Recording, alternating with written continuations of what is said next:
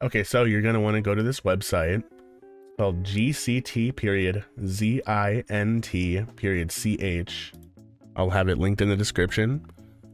This website was made by Psychonauter, Noki Doki, Sup39, and Milk. Shout out Milk, he's my buddy. Anyways, you can go and choose the version of the game you have installed.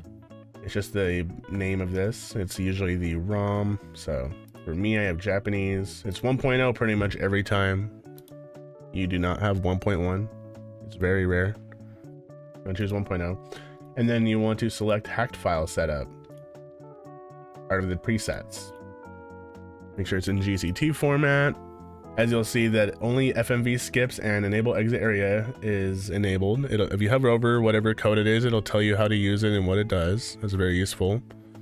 You can also set it up you know, mess around with it. It's pretty self-explanatory. Like for the controller input display, you can change the position and the size, how transparent the background is. Yeah, go ahead and download this. Once you have this file here, you'll want to go ahead and plug in your hard drive or your SD card, whatever has Nintendont on it, as well as your game. Yeah, my game's here. Here, you want to make a folder on the root, on the very base of it, called codes.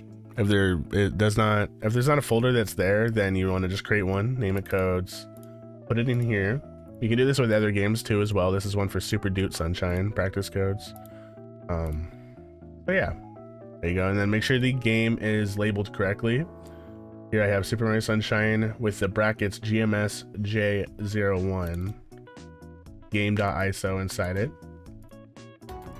Now we want to come back to our Wii, go to our homebrew channel. Gonna go ahead and open up Nintendont. And here I use my hard drive, so it's USB.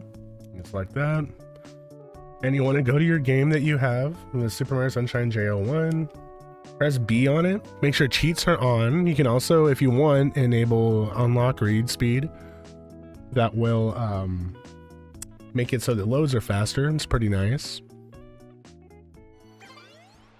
All right, and now that we're on our new memory card here, what you want to do is just go and select a file, and you have your practice codes on, so you can just press A to skip this cutscene.